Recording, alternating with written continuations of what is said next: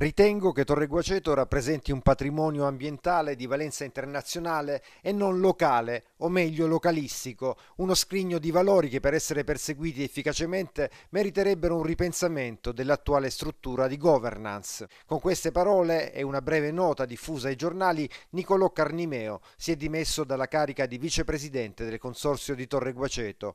Docente di navigazione all'Università di Bari, Carnimeo, già presidente di WWF Puglia, era al suo quarto mandato come vicepresidente a Guaceto proprio in quota al WWF. Sono stati anni difficili ma anche colmi di soddisfazioni, scrive Carnimeo, nei quali grazie all'apporto fondamentale della nostra associazione sono stati raggiunti importanti traguardi e risultati nella tutela dell'ambiente e nella gestione sostenibile dell'area protetta. L'ultimo CDA si caratterizza invece per una struttura verticistica con la quale è risultato molto difficile collaborare e nella quale ho visto troppo spesso negate e marginalizzate le mie istanze e quelle dell'associazione che rappresento.